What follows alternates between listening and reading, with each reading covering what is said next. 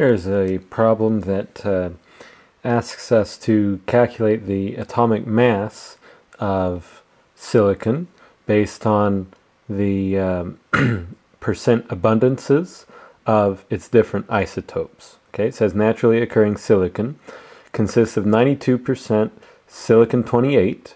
Okay, that is the mass number of silicon, um, of that isotope of silicon. Um, and uh, it has this mass. And then there's also 4.7% that is silicon 29 and has this mass.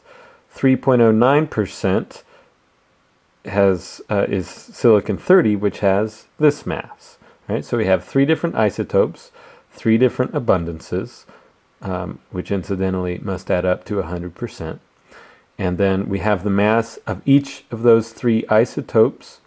So we can calculate the atomic mass. It's essentially just a weighted average of, uh, of the masses of each of, of these isotopes. All right. So just looking at this, we see that 92% of it, that's you know over 9 out of 10 uh, atoms of silicon are silicon 28.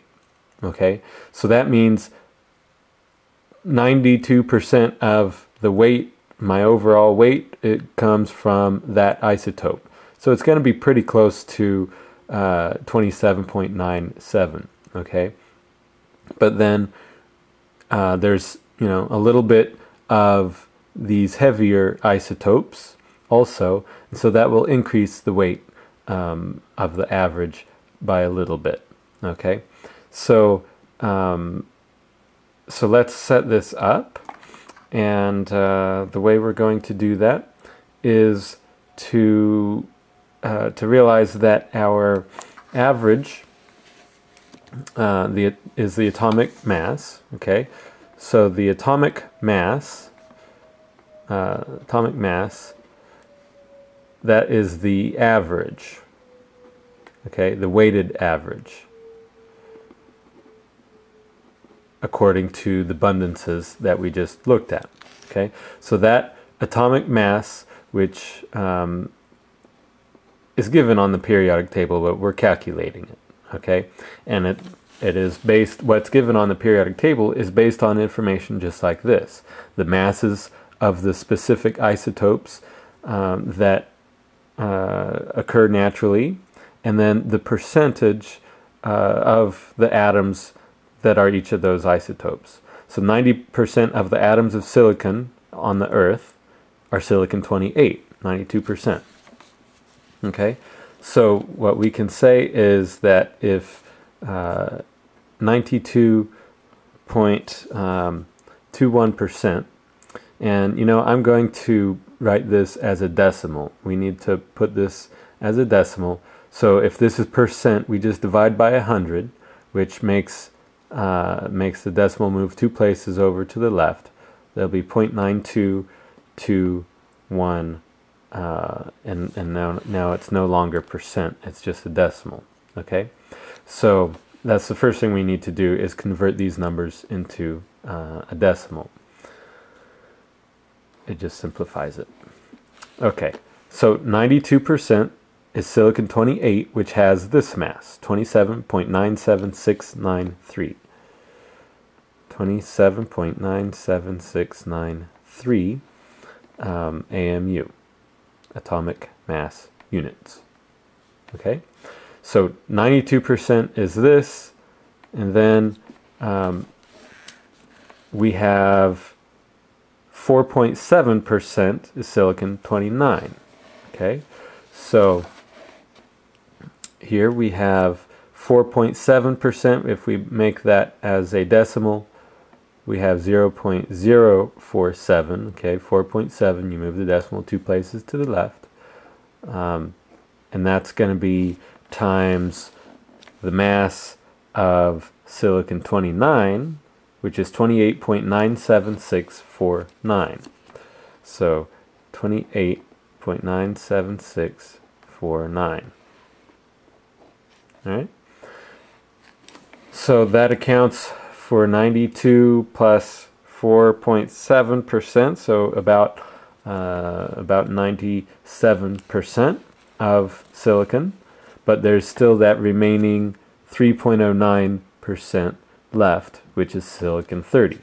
Okay, so 3.09 written as a decimal is uh, 0.0309.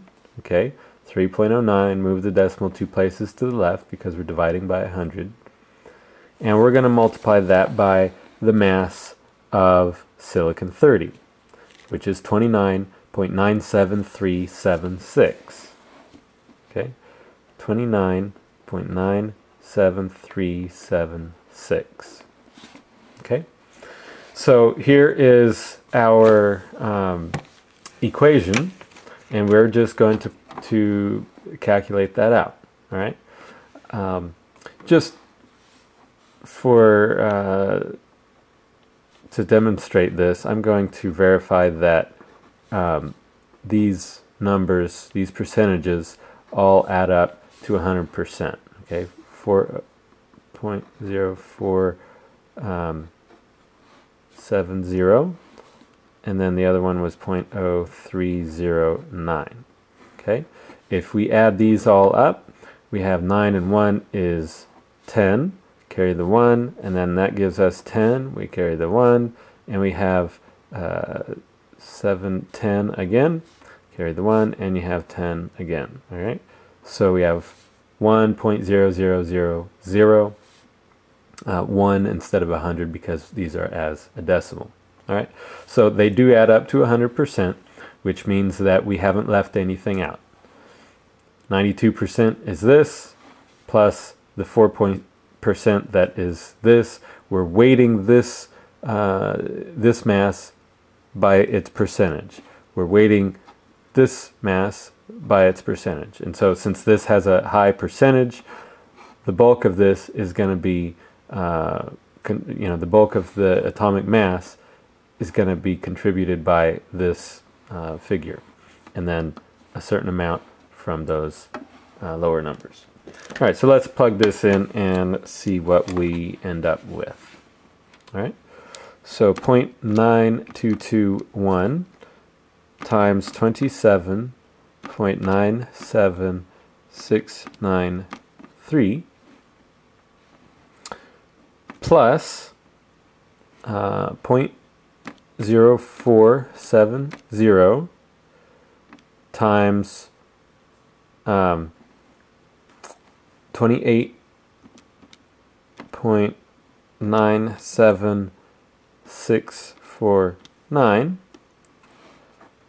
uh, plus, um, and by the way, in my calculator, um, the uh, it follows the order of operations, and so I don't have to worry about the plus and the minus uh, being you know, coming, if it, it doesn't perform that before it does the multiplication. Um, and so anyway, here in the end, I have 28.086. Uh, okay, that is my atomic mass, a weighted average of all of those. Okay, and we can verify that using the periodic table. Okay, if we look here, silicon has a mass of 28.086. If you can uh, see that there.